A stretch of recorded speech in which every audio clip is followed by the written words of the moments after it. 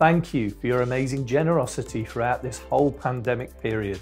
We have, as a social action team, been able to reach out into our local community, providing over 60,000 food parcels and hot meals. Helping hands reaching out into an often hurting world is one of our mission statements. And that needs to be shown during this next period. As Christmas rolls in and the world stutters and hurts, we've been called to thrive, not just survive. And part of that is being able to sow into other people's lives, showing them the love of Jesus. Can you help us reach our community during this next period?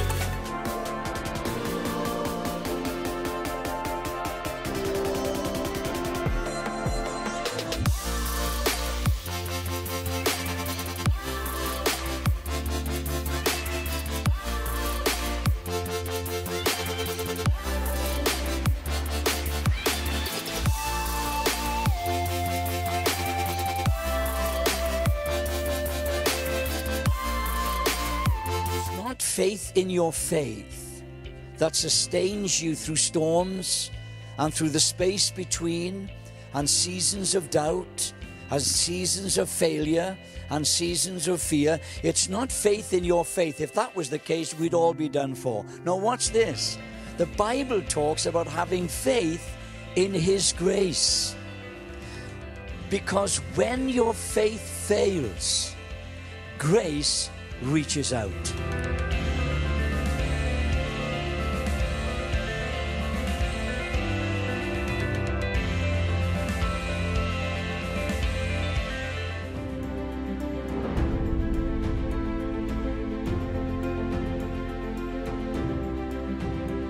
It doesn't matter what your background or your history, what your parents look like, or what you've been like as a parent. Jesus can step in, make a way, make a difference, restore with his love, and bring restoration to you, your family, in this season. God bless you. Thanks for being on this Advent journey with us, and we'll look forward to seeing you next time as part of this Advent.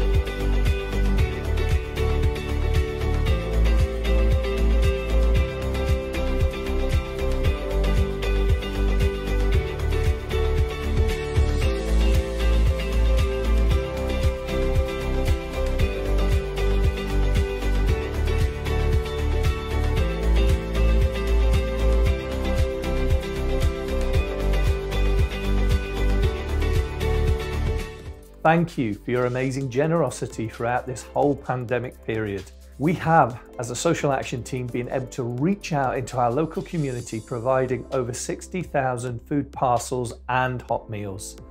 Helping hands reaching out into an often hurting world is one of our mission statements. And that needs to be shown during this next period. As Christmas rolls in and the world stutters and hurts, we've been called to thrive, not just survive. And part of that is being able to sow into other people's lives, showing them the love of Jesus. Can you help us reach our community during this next period?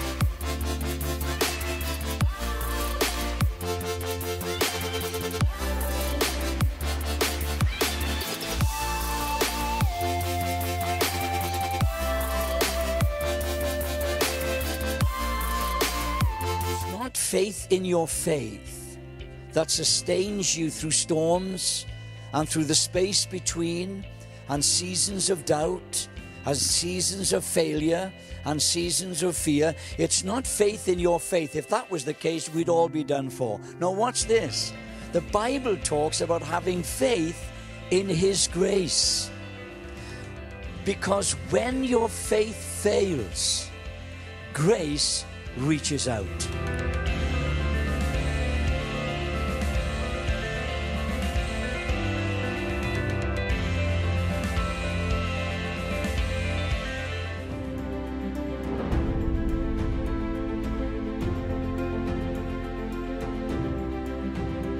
It doesn't matter what your background or your history, what your parents look like, or what you've been like as a parent. Jesus can step in, make a way, make a difference, restore with his love, and bring restoration to you, your family, in this season. God bless you. Thanks for being on this Advent journey with us, and we'll look forward to seeing you next time as part of this Advent.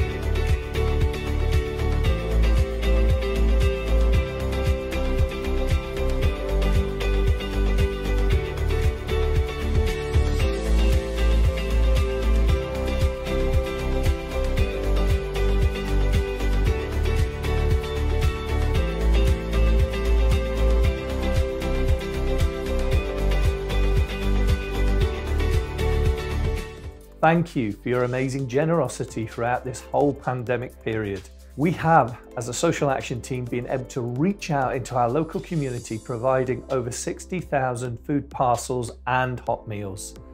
Helping hands reaching out into an often hurting world is one of our mission statements.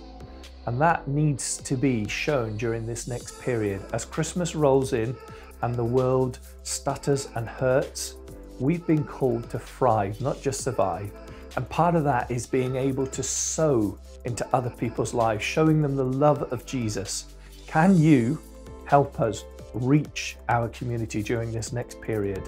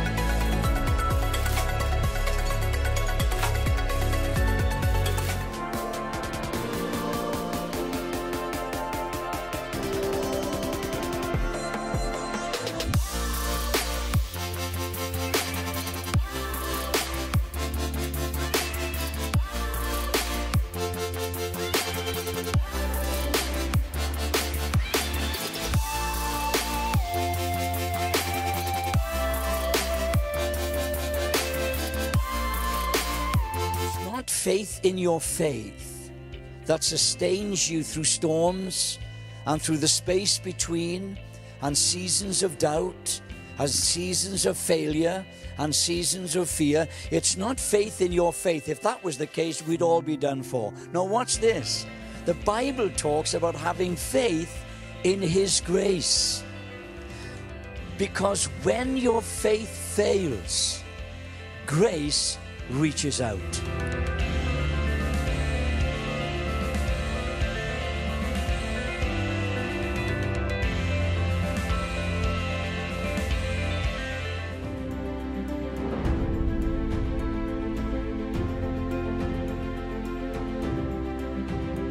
It doesn't matter what your background or your history, what your parents look like, or what you've been like as a parent. Jesus can step in, make a way, make a difference, restore with his love, and bring restoration to you, your family, in this season. God bless you. Thanks for being on this Advent journey with us, and we'll look forward to seeing you next time as part of this Advent.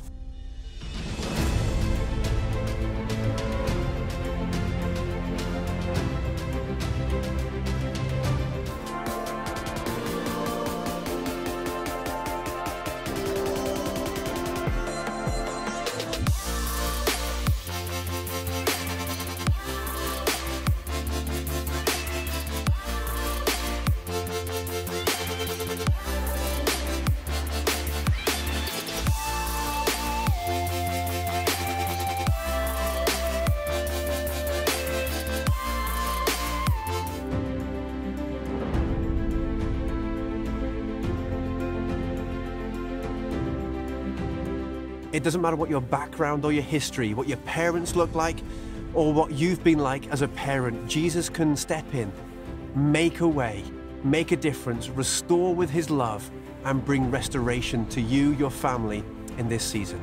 God bless you. Thanks for being on this Advent journey with us, and we'll look forward to seeing you next time as part of this Advent.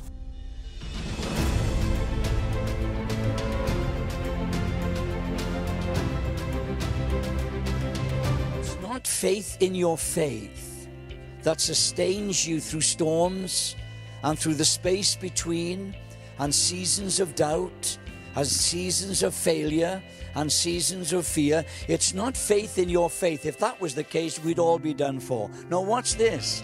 The Bible talks about having faith in His grace. Because when your faith fails, grace reaches out.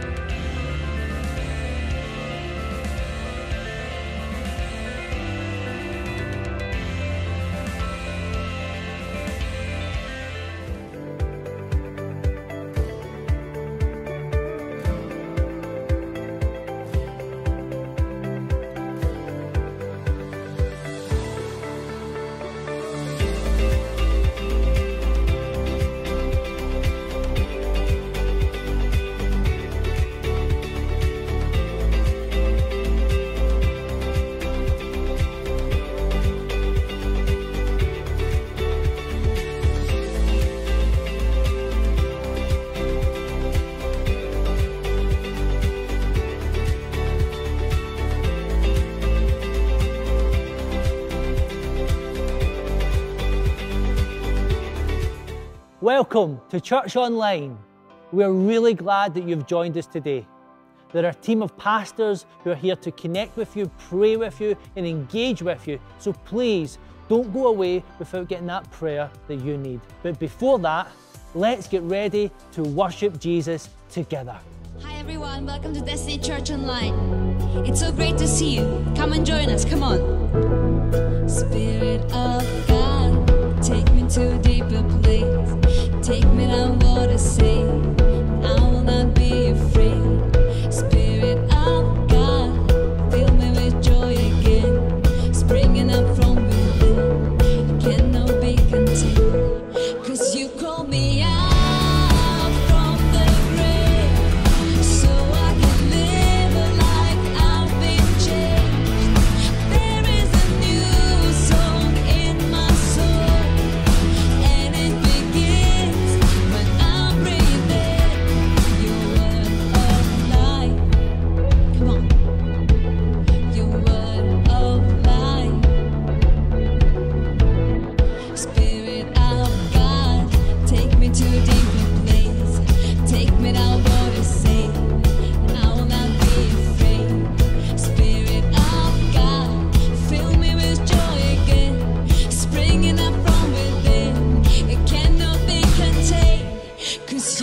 me out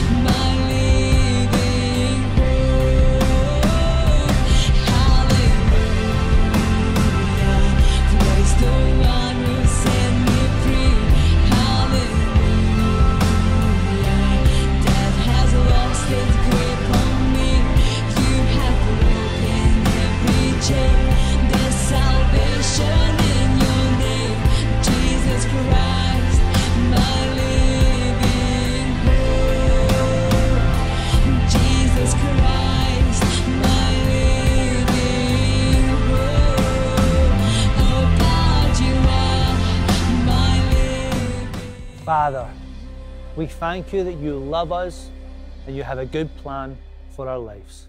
We pray your blessing over today's service and over every single person who is connecting with you and us today. We pray this in Jesus' name. Well, thank you for joining us at Church Online. It's really great to be with you today. We are in for a great time with God and one another. But next up, we have a special message from Executive Pastor Dan Owen on giving. Hey, church, Christmas is almost upon us. In fact, this week, the first time I woke up to find frost and ice and snow on the floor, it is almost here. You know, Christmas is a season for generosity. I love getting presents, but you know, I actually really love and are blessed even more when I get to give them. I love the smile on people's faces and the impact it has in their lives when I can show love to them through that. And you know, this is an opportunity for us to do this just now. Right now is an opportunity to give.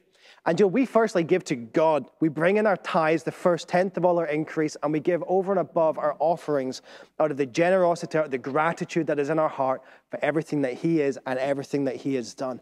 And I want to encourage you in this season, continue to do that. But also, we have another opportunity to be generous.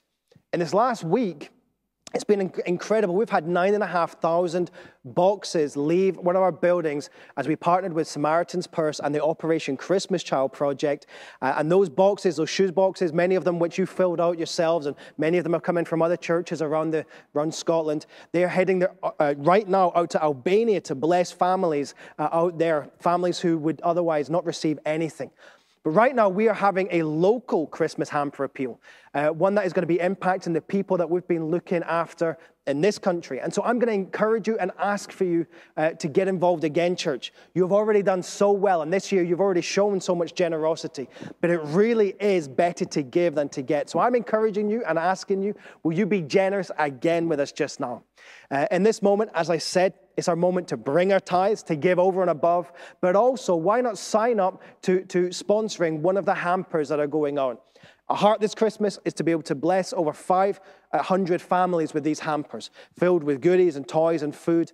And you know, really, these, these families are going to be waking up on Christmas morning with absolutely nothing in their fridges and nothing in their cupboards. But this is an opportunity for us to show the love of Christ with them. And not only is, are we going to be providing a practical help uh, to these folks, but we're also going to be sharing the gospel, the love of Christ with them as we do so. Who knows the difference that that hamper will make at this Christmas season? Uh, there's going to be a link for you to follow just now uh, for some more information and for your opportunity to give. But here's another method as well. Why not, alongside giving into that hamper pool, you can give uh, without actually doing anything else other than signing up to this service. Who's ever bought anything off of Amazon? If you're like me, you've probably been living on Amazon this last year with all the shops shut down and closed. Well, Amazon have a charitable side to them, believe it or not, and it's called smile.amazon. And if you go on to smile.amazon.co.uk, you can partner with a charity. Destiny Church Trust is listed there. And that means that everything that you purchase online, a donation, a, a, percentage of that comes to us.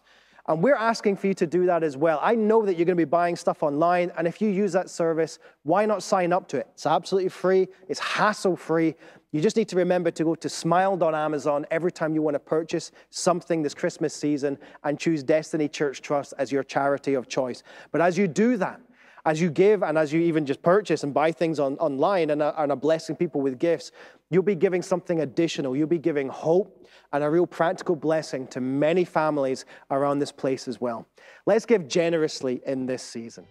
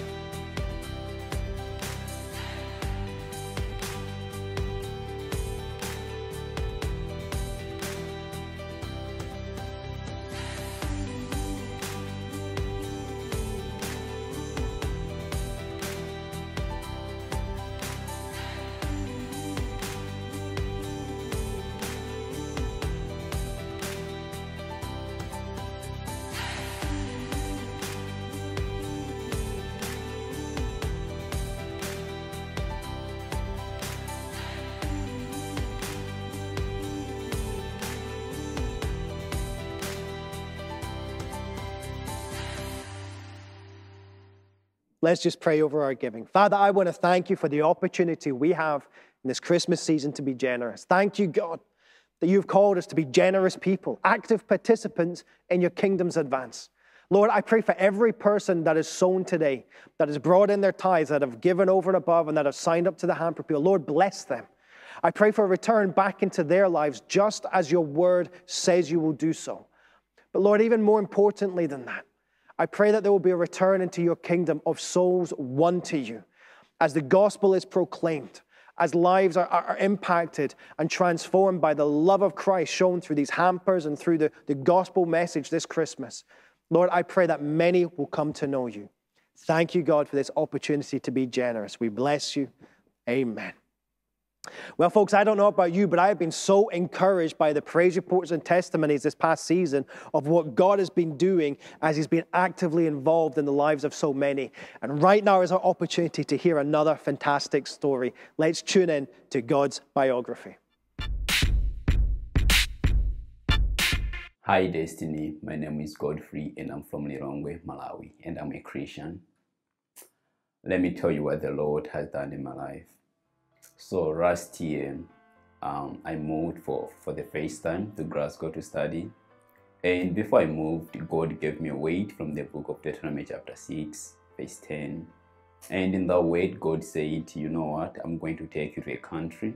And when you go there, you are going to stay in mansions that you did not build. You are going to eat food that you did not provide. And you drink from wells that you did not dig.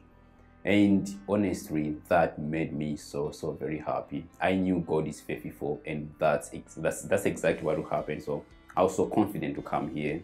And when I came, everything was really great until the beginning of the lockdown. At that point, I I had to extend my accommodation contract, and I realized it was hard to do that because of the lockdown. So I emailed the university to ask for the possibility of doing that. And unfortunately, when the university got back to me, they said it was almost impossible to extend the contract. I think that was the point in my life when I was very, very scared because I didn't know my way around Glasgow. I didn't know how to go about looking for flats.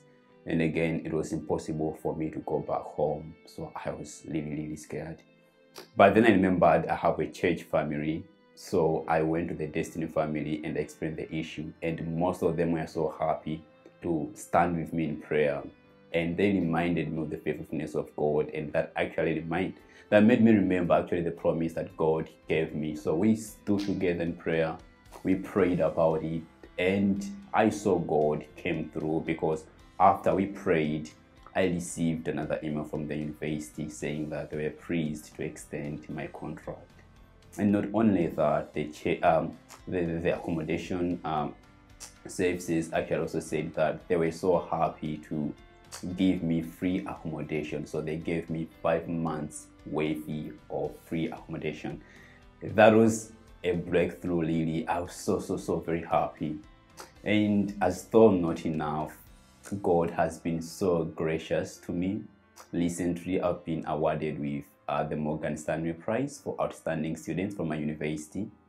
And I look at myself, I'm like, wow, look at a boy from Malawi staying here in Glasgow, and all the promises of God are coming through. Indeed, the Lord has been so very good to me.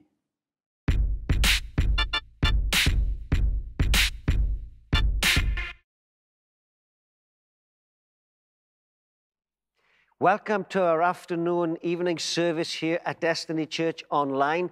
We have now started bringing a message also into these meetings because we think we should always feast on the Word of God. And today I'm delighted to welcome a very special friend of this house, Pastor Ray Bevan, to come and bring the Word with us. Ray has become known around the earth for particularly teaching on grace. He's been in ministry for many, many years, been leading great churches, and been an influential spiritual leader in our nation. I know that when we hear Ray, we're always encouraged. We find that sense of humor helping us along the journey of life. And I know that you are going to be blessed as he brings the word of God to you this afternoon. So get your Bibles ready, get your notebooks ready or your phone ready. Listen good, listen well. Here's Ray Bevan. Well, hi, everybody. Uh, it's great to be with you today, and uh, it's a privilege for me to be part of the journey that you're on right now as a church. And I want to talk to you today about God's ingredient for longevity, God's ingredient for us to finish strong, God's ingredient to give us the endurance to finish our race. And for me, the key to longevity is knowing how to negotiate what I call the space between. Let that phrase sink into your heart the space between. The space between the promise given and the fulfillment of that promise. Huh. Uh, uh, in Genesis chapter 3, God promises the world that a Savior would come to save us from our sins. In Galatians, it says that in the fullness of time, that promise came to pass. So the space between the promise given and the fullness of time of that promise was 2,000 years.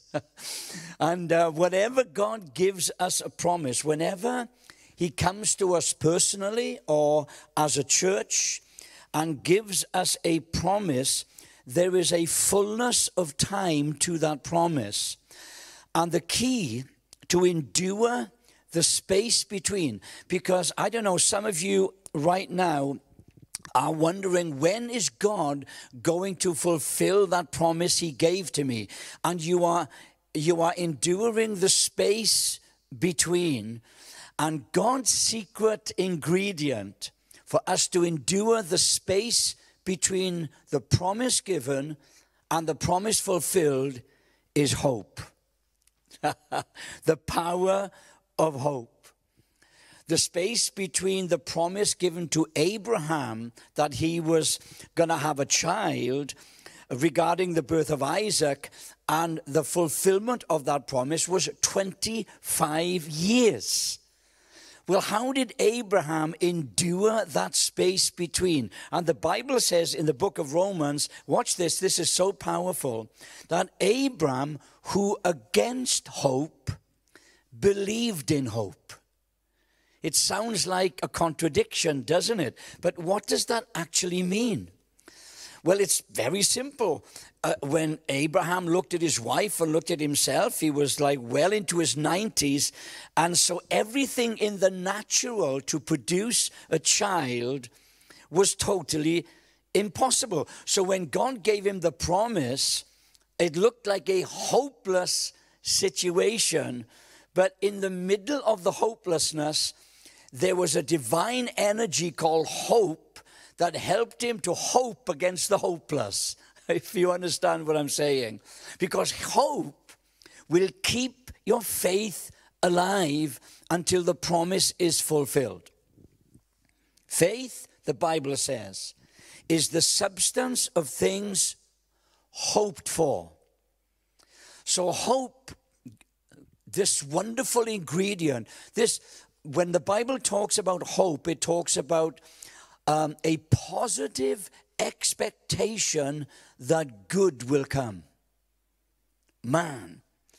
And there is one aspect of faith that we must apply if we are going to endure the space between and the fulfillment of that promise, and um, I've, I've not heard anybody speak about this before. It's a revelation that God gave me. And it's an aspect of faith which is connected to hope, and I'll explain that in a moment. It's, a, it's an aspect of faith which I call nocturnal faith. The faith that rests. Nocturnal faith. The faith that rests. When I studied uh, faith uh, in, in all its aspects, I've come to the conclusion that for me it seems to be there are five aspects to faith. First of all, we have what I call audio faith, the faith that hears. Faith comes by hearing. Then we have optical faith, the faith that sees. Um, faith uh, the substance of things hoped for, or the substance of things that is seen. Then we have cardio faith. Uh, this is the faith that believes. The Bible says if you believe in your heart, uh, and which leads us on to the fourth aspect of faith, which is vocal faith, and that's the faith that speaks. I believe, therefore I speak. But there's a fifth element of faith that's connected to hope. And it's, it's absolutely vital we understand and practice this element of faith, and it's nocturnal faith, the faith that rests. Now, let, let, me just, uh, let me just take a little bit of a side salad here, because there's so much um, guilt and condemnation connected with, with some aspects of preaching faith. In other words, well, the reason why you are sick is because you haven't got enough faith or your faith is too small. You've got to maintain a level of faith in order to succeed. And I think that's caused so many people to live in condemnation, and, and it's caused so many people to have faith in their faith. And we all know very often our faith fails. Very often we think, you know, we try to psych up some uh, emotional disposition and we think, oh, that's staying in faith. Well, no. I, I want I want to just help somebody here. It's not faith in your faith that sustains you through storms and through the space between and seasons of doubt and seasons of failure and seasons of fear. It's not faith in your faith. If that was the case, we'd all be done for. Now, watch this. The Bible talks about having faith in His grace. Because when your faith fails, grace reaches out. Remember when Peter stepped out of the boat? He was full of faith. Nobody else walked on water. The word came to him. Come on, Peter. He stepped out on the water. His faith was strong. He was walking. And then we know he looked at the waves and he thought, What am I doing here? Just like some of you, you stepped out in faith, believing God for something, and then you're out in the middle of it and you're having a bit of a wobbly and you're thinking, What's going on? Why did I do this? Am I crazy? And Peter began to sink. We know the story, but I love this. The moment that faith, Peter's faith began to fail, watch this, grace reached out and lifted him up.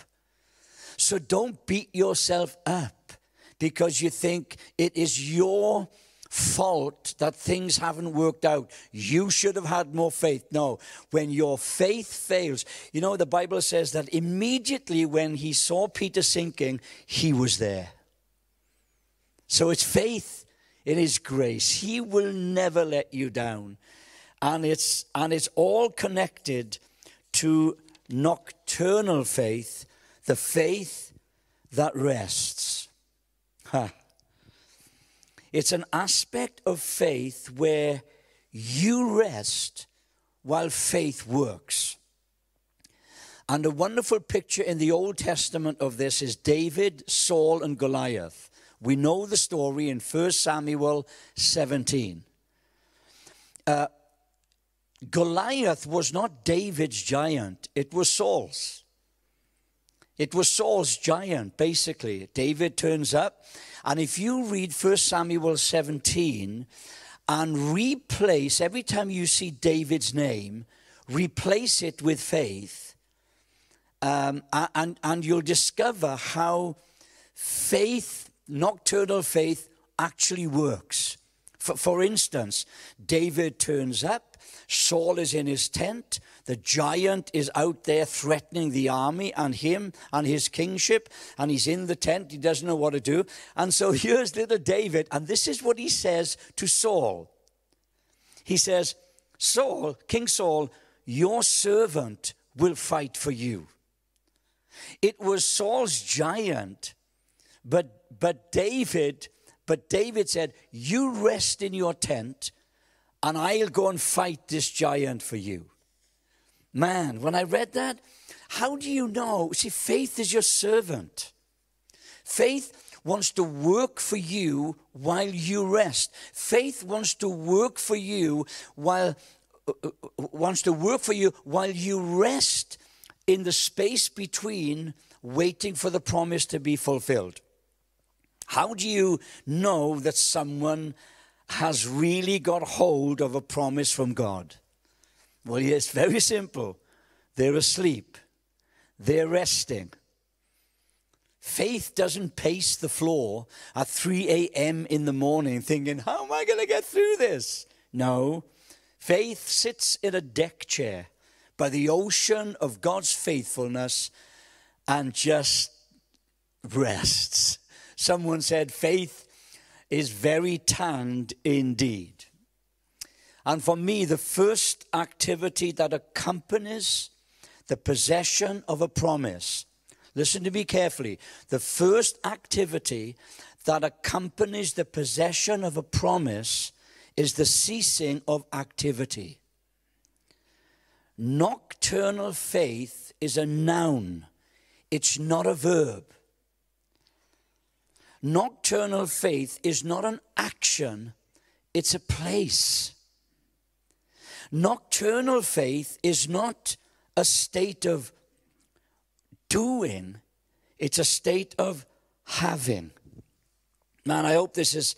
Um, I hope this is making sense. I hope this is helping someone right now. I, I, because, because God is continually getting us to lie down in green pastures. We want to get up and do something and make it happen. God says, No, you have to. This is, this is how hope works it incorporates nocturnal faith.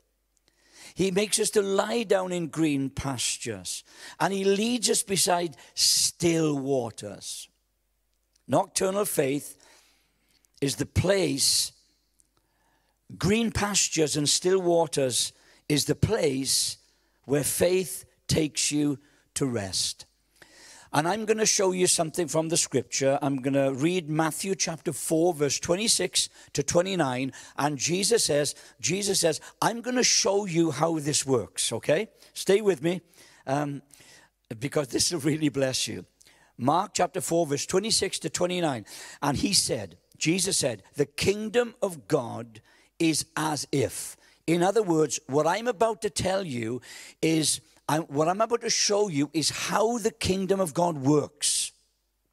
It's as if, it's just like I'm going to explain to you. It's as if a man should scatter seed on the ground and should sleep by night and rise by day, and the seed should sprout and grow, and the farmer himself doesn't know how that works. For the earth yields crops by itself first the blade, then the head, and after that, the full grain in the head. But when the grain ripens, he immediately puts in the sickle because the harvest is come. And when I read these verses here, Jesus is explaining the procedure of how hope and nocturnal faith work together. This his he says it's as if this, I'm showing you a principle in the kingdom of God on how it operates. First of all, he says this the farmer who scatters the seed on the ground. We are the farmer.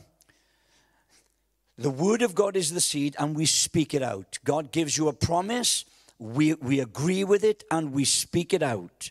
The seed is sown. Watch this. We hear the audio.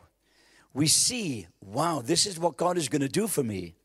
We believe, cardio. We speak it, vocal. Then, and this is an area of faith that many people do not enter into, we rest. That's nocturnal faith. But, and also, and these, these words of Jesus explains to us what we actually rest from. First of all, when you're operating in nocturnal faith and living in the biblical meaning of hope, you rest from worrying.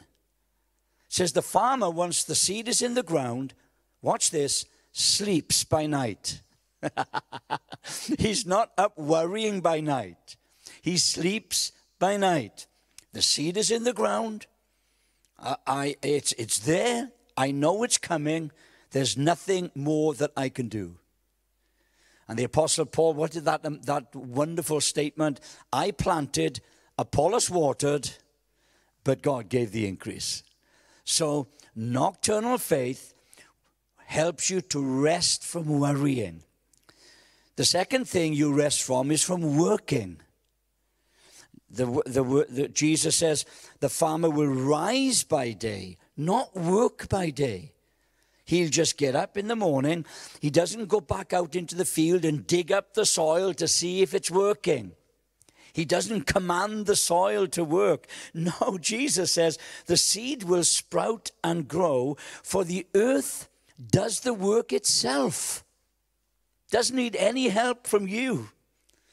So when you've sown your words of faith into the soil of God's will for your life, it will produce without any help from us.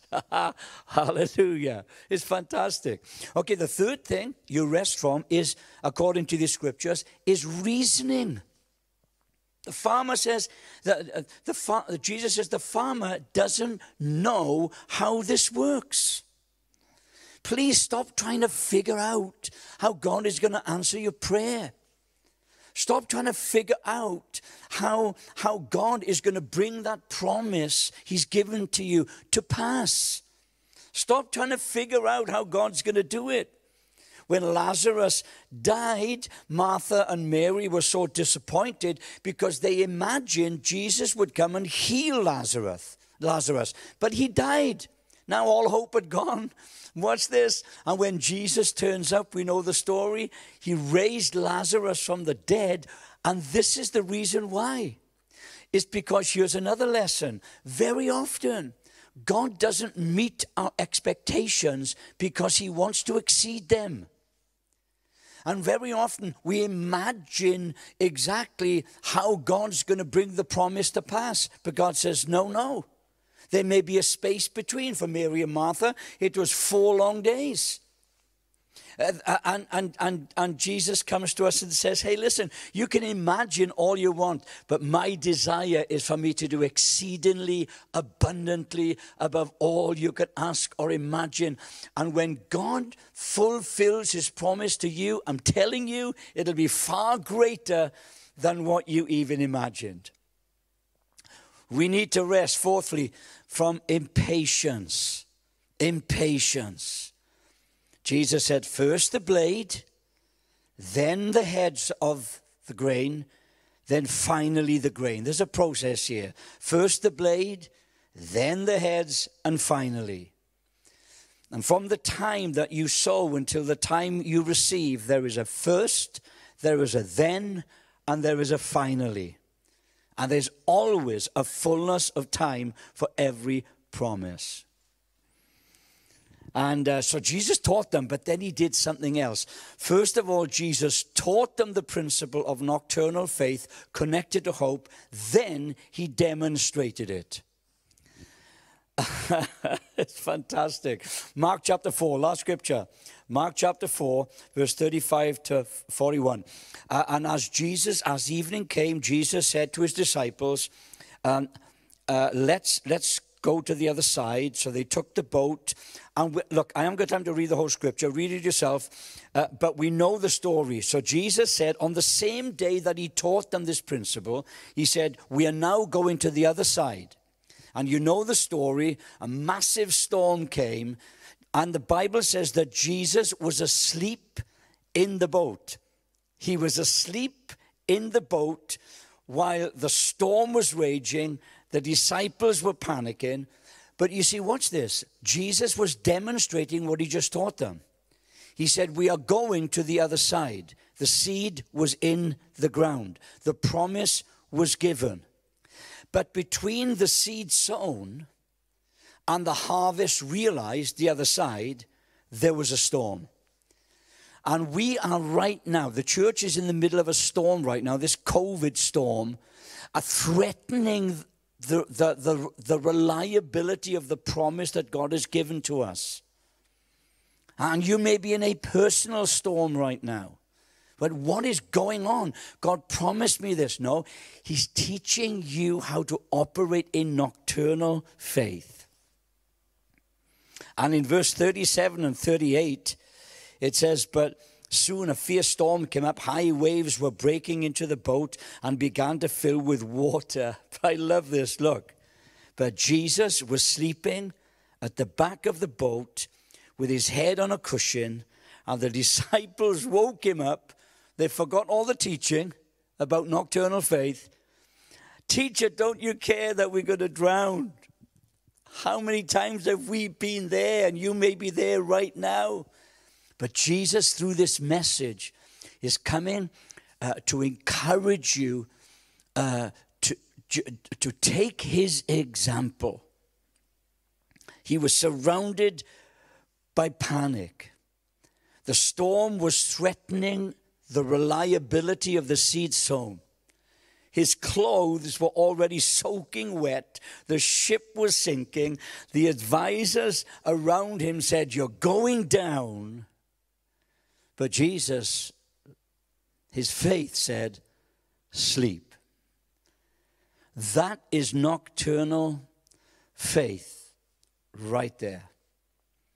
Sleep, rest. And I know right now the world is in a total panic with what's going on. And maybe as a church and maybe as individuals, you're wondering, well, God gave us promises. We've had words from God. Uh, what's going to happen? And the boat may be filling up with water, and you may be worrying and reasoning. No, no. Meditate on the words I've read to you from Mark chapter 4 and understand when you operate in nocturnal faith, you can rest, you can sleep. It's called the power of hope. And I just pray that this word has really helped you um, to understand how to negotiate the space between the promise and the fulfillment of that promise, whether it's corporate or personal. But you know, there's one promise you do not have to negotiate the space between. It's this if you believe on the Lord Jesus Christ, you will be saved. And there are people watching me right now, and you may be thinking, I'd love to live like that, Ray. I'd love to know how to l- operate and live in this nocturnal faith where I can just trust God. Well, it starts by simply giving your life to Jesus. Why don't you pray with me right now? If you're listening to my voice right now and you and and, and man, you're worrying, you're reasoning, you're impatient, you're frustrated, you don't know what's happening. No, let Jesus bring peace to your soul. And it begins by believing in Him for salvation. I know it's hard to believe, but all your sins have been forgiven. And all Jesus is asking you to do, believe me. When I died on the cross, I took your sins. I've forgiven. You are forgiven. All you have to do is to believe. Will you believe with me right now? Will you invite Jesus into your life? Will you say, Jesus, I, I believe. I, I, I can't understand it, but I believe that you died for my sins 2,000 years ago. And you know what, Jesus? I'm going to believe that right now. I'm going to believe that I am forgiven. I receive forgiveness for all my sins. Please come into my life and teach me how to walk by faith, especially how to operate in nocturnal faith.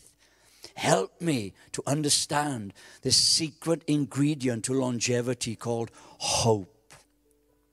Faith is the substance of things hoped for. Well, that's wonderful. I, I'm, I'm just believing that many prayed that prayer with me and started a life of adventure and excitement and peace and joy um, serving Jesus. I also want to encourage those of you that are in the space between, and it's been a long time, maybe two or three years, or even longer, waiting for God to come through for you. This is, I believe, this principle of nocturnal faith is so important for us to endure that space between. And some of us, like Abraham, you know, it, it, we think, wow, this is taking too long here. And as we know, he tried to manipulate the promise of God through his flesh, through his own reasoning, and he ended up with uh, Ishmael, uh, which caused him, uh, you know, lots of problems. And, and very often, you know, sometimes we suffer the consequences of our decisions. But at the end of the day, you know, we are just human, and some of you may have tried to manipulate God's promise and it hasn't worked out. Listen, God is still on track to fulfill that promise to you. And some of you going through this COVID virus, and you, you, some of you may have lost your job. Some of you are thinking, well, I thought the promise was connected to that. No, God has His own way of working it out. And, uh, and sometimes, even when it, it, looks like our world is upside down, even though it looks like, like Joseph in the Old Testament, the promise is going in reverse. It, it looked like, you know, for Joseph, the space between was 12 years, but it was 12 years of seeming reversal. but then God, in a moment, turns it all around. Uh, I think it's amazing. I think it's up. I mean, for David, after he kills Goliath, he goes back and he just serves his father tending the sheep. The anointing oil, he could still taste it in his mouth. Uh, 12, 14 years later, in a cave, when he's thinking, My life is over, Saul is trying to kill me. Again, it looked like his destiny was going in reverse. But God had a plan. During that space between, um, and with all the experiences he went through, God was perfecting his character, teaching him how to trust, teaching him how to be patient. And so, my prayer for you, for those of you in the space between the promise and the fullness of time, trust me, operate in these principles that I've shared with you today and, uh, and your harvest is coming. Don't give up. Be strong.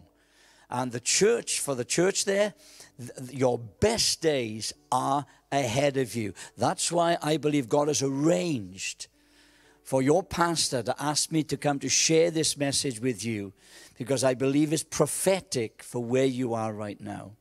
So, Father, bless every single person that's, that's, that's believing you for a fulfillment of a personal promise, whether it's financial, relational, ecclesiastical, ministry wise, I don't care what it is. Father, right now, help them to tap in to hope. Against hope, believing in hope. Help them to practice nocturnal faith rest from worrying, rest from reasoning, rest from impatience. Father, I commit them now into your hands in Jesus' name. God bless you, everybody. It's been a joy. To wrap up today, let's break bread together. Jesus said that we should do this often. That means as many times as we like. It's actually a divine opportunity, a privileged invitation. Every time we do this, we are remembering that Jesus is the head of the church. He is the Lord of our lives, and He has made a covenant with us that He will never break. It means that He's promised to provide, He's promised to forgive, He's promised to heal, and He's promised to cover. That guarantees that we will thrive, not survive in this season, right? So let's break bread together. The Bible teaches us that we should take the bread, and when we do so, we remember the Lord's body that was broken for us. So pray, please. Father, I thank you for this emblem that reminds us that your son was broken, broken on purpose so that we could be healthy, strong.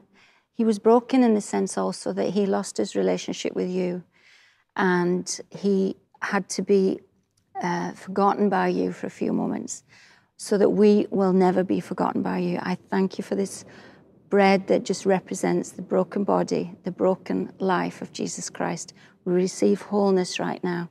Amen. Amen. In the same way, the Bible tells us Jesus took the wine, the cup, and he told us that this was the cup of the new covenant. But The old one is finished. Hebrews says it was obsolete, it wasn't good enough. It had laws and rituals and regulations, none of which we could complete or comply with. But Jesus fulfilled every last thing. He became our lawkeeper. He became the one who walked in obedience. He became our sin on the cross, and He's become our righteousness. All of those things have been added to us. And when we look at this cup, we remember that. Amen. Thank you, Father. Thank you, Jesus, for your blood. Thank you, Father, that you sent him. Thank you for our church family and our body around the earth. We thank you that wherever we are, we are one together and we receive from you your grace, your life, and your blessing in Jesus' name. Amen. You know, I'm mindful as we come back into the buildings and as we reach together to see answers, we really do need to value our relationships and value one another. And I'm hearing that the meeting times or the meeting places, the events feel very different, but we've to still look beyond the surroundings, the setup, even the kind of strategy that's uh, approached on any occasion and reach across to the people because you and I come together when we break bread as well as as we reach up to the Lord. And we must value these relationship moments and really look out for one another in a brand new and very awake kind of way. Let's not race past because the meeting's different. Let's linger just to meet face to face and heart to heart. It's very, very important. So make sure you connect with somebody today, right? If you're in a friendship cafe, make sure you say hi. Maybe if you're on your own at home, why don't you pick up the phone or Facebook somebody and connect with each other? But you know, maybe that you are watching today or you're with us today in some place and you don't know Jesus yet, you know. The Bible makes the biggest invitation of all that we can come to know God, that He can live in our hearts. 2,000 years ago, Jesus died on a cross to take away our sins so He becomes our Savior. Isn't that a beautiful thought? But when we enter into a relationship with Him, He becomes our Lord. We put Him in charge of our lives, past, present, and future. And when Jesus is Lord, He takes that responsibility seriously. Maybe today you need to give your life to God.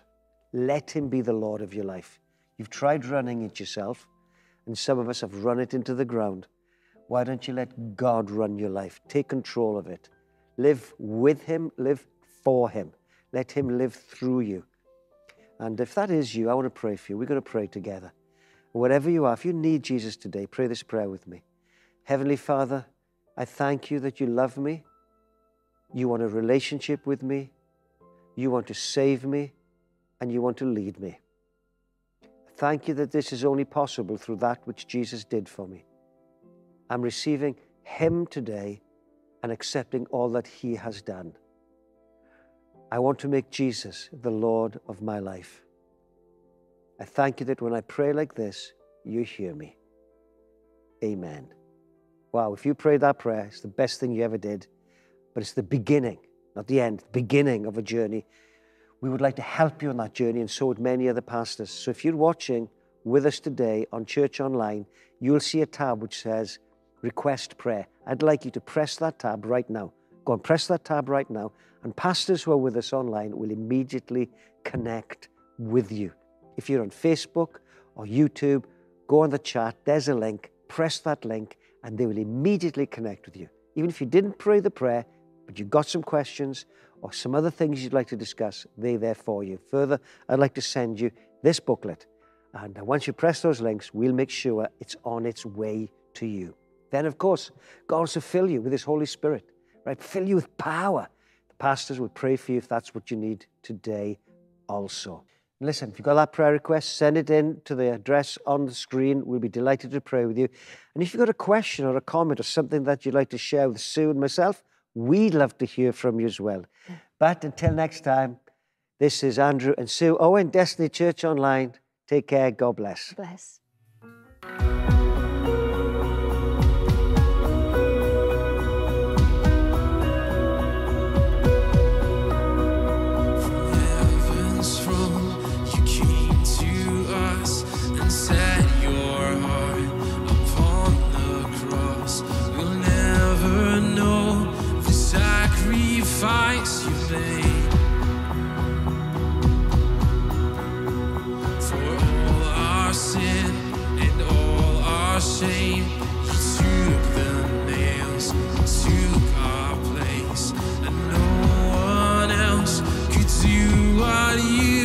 Time.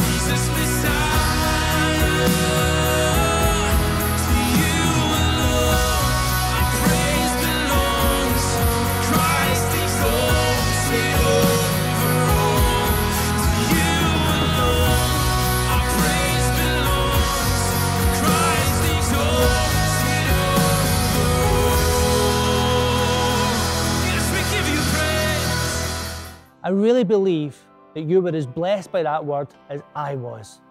That was a word from God. But please don't go away. There's a whole team of people here who want to connect with you, speak with you, and pray for you. So please engage with the chat and let us know who you are, where you're connecting from, and what we can pray for. And don't forget to come back next week for next Sunday service. I'll see you then. God bless and goodbye.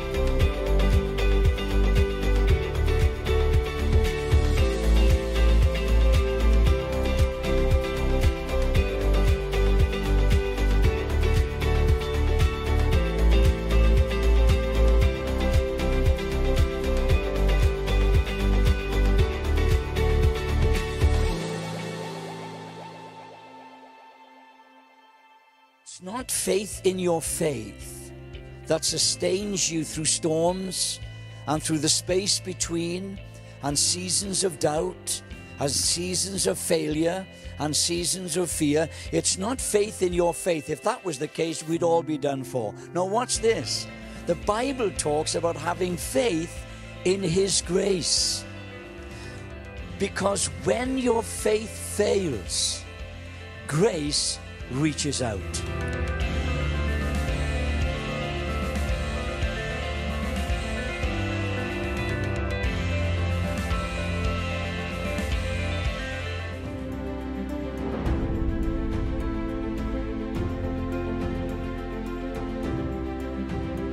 It doesn't matter what your background or your history, what your parents look like, or what you've been like as a parent. Jesus can step in, make a way, make a difference, restore with his love, and bring restoration to you, your family, in this season. God bless you. Thanks for being on this Advent journey with us, and we'll look forward to seeing you next time as part of this Advent.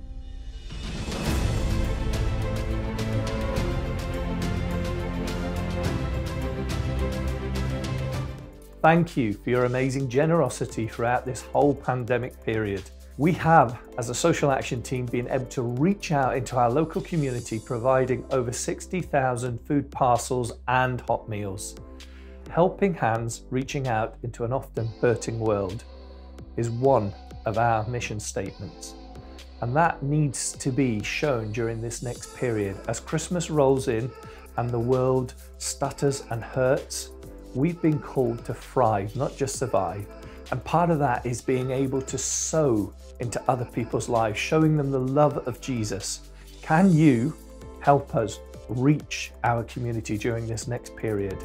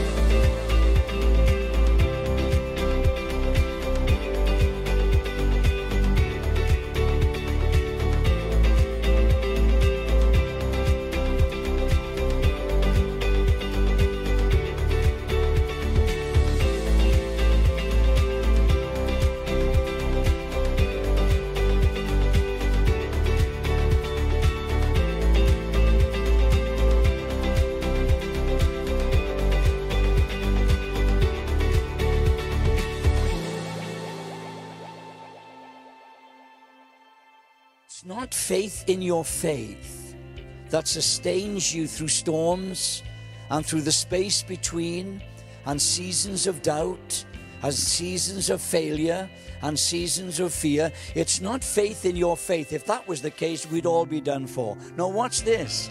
The Bible talks about having faith in His grace. Because when your faith fails, grace reaches out.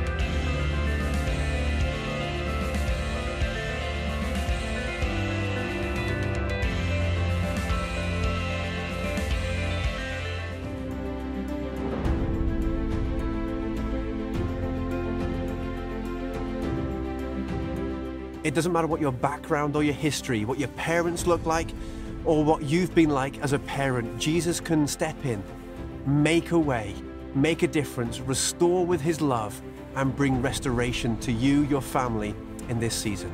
God bless you. Thanks for being on this Advent journey with us, and we'll look forward to seeing you next time as part of this Advent.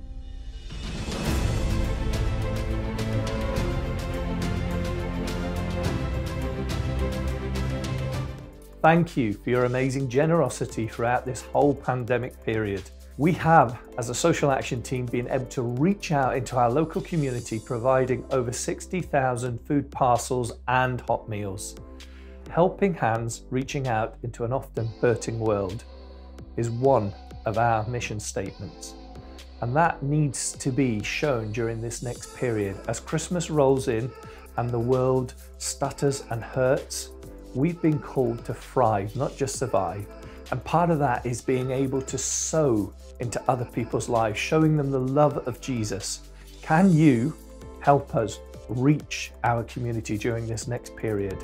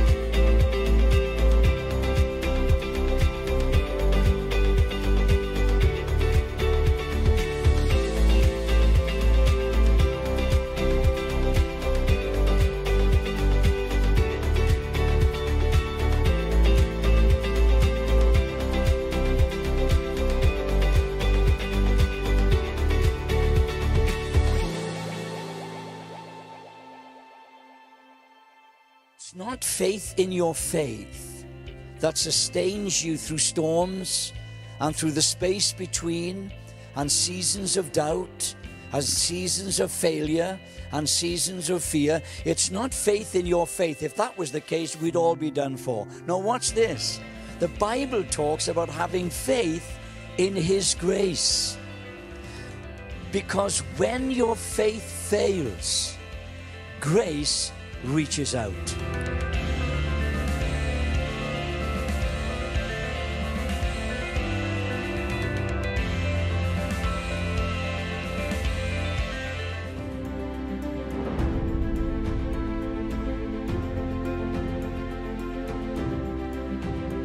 It doesn't matter what your background or your history, what your parents look like, or what you've been like as a parent. Jesus can step in, make a way, make a difference, restore with his love, and bring restoration to you, your family, in this season. God bless you. Thanks for being on this Advent journey with us, and we'll look forward to seeing you next time as part of this Advent.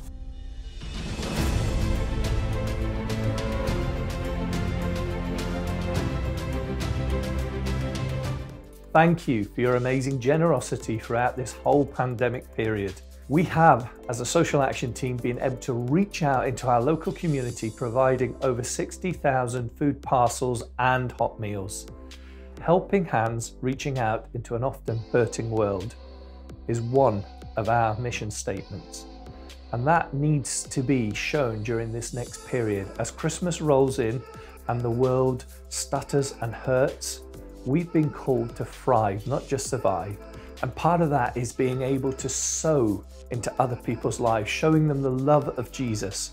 Can you help us reach our community during this next period?